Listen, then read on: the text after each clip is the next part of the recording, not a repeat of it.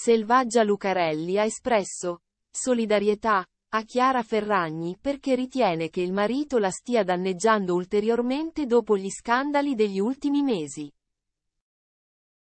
La giornalista 49enne è intervenuta via social dopo l'ultima puntata di Muschio Selvaggio, il podcast di Fedez, in cui quest'ultimo l'ha attaccata dialogando con Marco Travaglio, direttore del quotidiano con cui la Lucarelli collabora.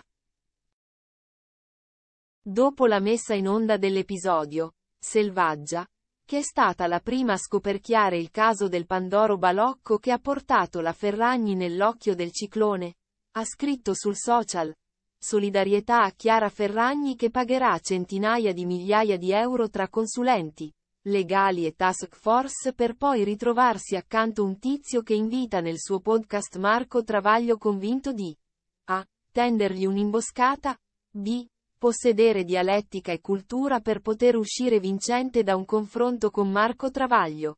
Anziché bofonchiare Paonazzo per 40 minuti, però selvaggia e cattiva. Poi dice che Luis Sal se n'è andato per non reggergli il moccolo. Strano. Poi ha aggiunto. C. Convincere qualcuno che il problema sia la storia dello squalo e non il Pandoro. D. Convincere che davvero lui si ponga il problema della protezione delle persone più fragili sul web. Quando ci mostra i suoi minori dall'ecografia in poi e nelle situazioni più intime e private.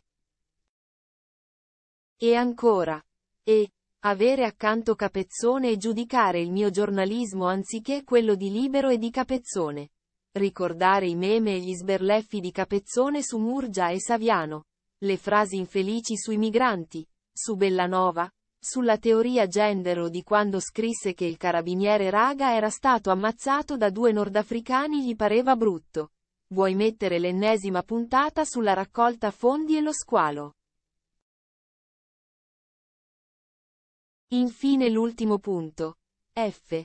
Tentare invano di delegittimare chi gli ha rotto il giocattolo, io, non rendendosi conto di ridicolizzare se stesso e, cosa ancor più grave, far ridicolizzare dai suoi ospiti sua moglie che in questo momento non ha bisogno di altri danni reputazionali.